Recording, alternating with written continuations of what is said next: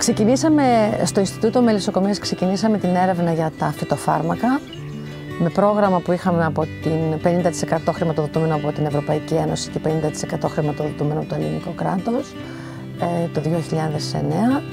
με αφορμή το γεγονός ότι οι μελισσοκόμοι παραπονιόντουσαν ότι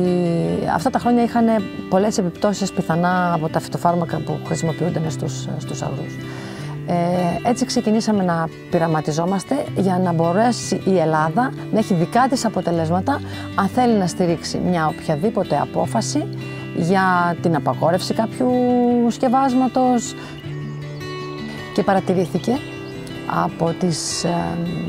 και από τη δική μας την έρευνα αυτά τα χρόνια αλλά και από τις δηλώσεις των μελισσοκόμων ότι τα προβλήματα που αντιμετωπίζουν στον αγρό από τα φυτοφάρμακα σε συγκεκριμένες καλλιέργειες και σε συγκεκριμένες εποχές του έτους ήταν τελικά πολύ περισσότερα από αυτά που φανταζόμασταν.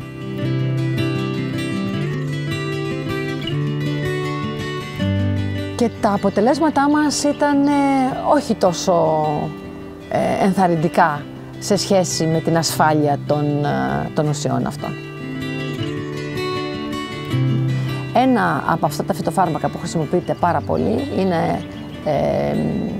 το, το ημιτακλοπρίτ που είναι ένα από τα πιο ε, ισχυρά νεονικοτινοειδή φάρμακα και επειδή ακριβώς η,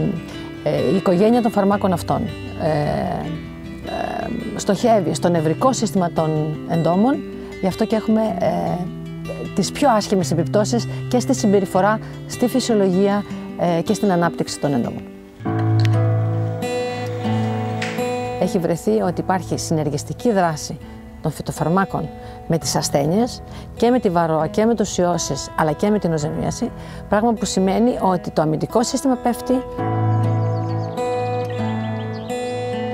Αν ξεκινήσουμε από το μελισσοκόμο, αυτό που θα μπορούσε να κάνει είναι πρώτον να αποφεύγει τις περιοχές με αυτού του είδους τα φυτοφάρμακα. Δεύτερον, να χρησιμοποιεί ε, μέλισσες ε, ντόπιους πληθυσμούς, γιατί πιθανά μπορεί να, έχουν μεγαλύτερη, να δείχνουν μεγαλύτερη ανεκτικότητα στην τοξικότητα των φαρμάκων αυτών. Στη συνέχεια όμως θα πρέπει να υπάρχει μια πολύ καλή συνεργασία με τους αγρότες, να προσπαθήσουμε να χρησιμοποιούν όλοι περισσότερο οργανικά φάρμακα και αυτό με τη βοήθεια ε, των, των κυβερνήσεων θα μπορούσε ίσως να είναι ακόμη ε, περισσότερο ε, και φυσικά είναι πολύ σημαντικό να συνεχίσουν οι έρευνες, να υπάρχει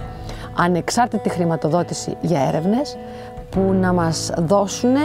επιπλέον αποτελέσματα και να γεμίσουν τα κενά που υπάρχουν αυτή τη στιγμή στη γνώση.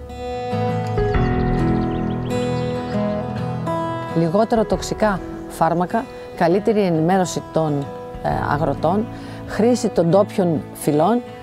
ε, και μια πίεση προς τους αγρότες ε, έτσι ώστε να συνειδητοποιήσουν ότι χρειάζονται την επικονίαση, χρειάζονται τις μέλισσες ε, για να μπορέσουμε να έχουμε τροφή αργότερα στο πιάτο μας και να μην χρησιμοποιούν τα τόσο τοξικά φάρμακα. Στο πρώτο ερώτημα, γιατί να σώσουμε τις μέλισσες, Χωρίς τις μέλισσες δεν θα έχουμε τίποτα από αυτά που έχουμε αυτή τη στιγμή στο πιάτο μας. Δεν ε, θα έχουμε επικονίαση και μέσω της επικονίασης δεν θα έχουμε τρόφιμα. Και η δεύτερη ερώτηση, γιατί η Ελλάδα χρειάζεται τις μέλισσες, είναι γιατί η μελισσοκομεία στην Ελλάδα είναι παραδοσιακή απασχόληση, γιατί όλο και περισσότεροι άνθρωποι και μάλιστα νέοι άνθρωποι μπαίνουν στο επάγγελμα και γιατί παράγουμε ένα πολύ ωραίο προϊόν με πολύ καλό εισόδημα. Πρώτα-πρώτα να ενισχύσει την άποψη ότι χρειαζόμαστε καλύτερη συνεργασία, περισσότερη ενημέρωση, υποστήριξη από κάθε κράτος για να έχουμε απαγόρευση των, των πιο ε, δυσάρεστων, πιο δυνατών φυτοφαρμάκων και να ενισχύσει επίσης την άποψη ότι χρειαζόμαστε ε, ανεξάρτητη χρηματοδότηση για περισσότερη έρευνα. Γιατί χωρίς αυτό τελικά δεν θα μπορέσουμε ποτέ να αποδείξουμε πόσο κακό κάνουν τα φάρμακα αυτά στις, ε, στις μέλισσες. Αλλά επίσης, επειδή ε, θεωρώ ότι το περιβάλλον θα πρέπει να βρίσκεται σε μια ισορροπία με τον άνθρωπο και με τα ζώα που μένουν εκεί. Άρα σώζοντας τις μέλισσες, σώζουμε το περιβάλλον και έχουμε προϊόντα τα οποία είναι πιο υγιεινά για την δική μας τη διαιώνιση αργότερα.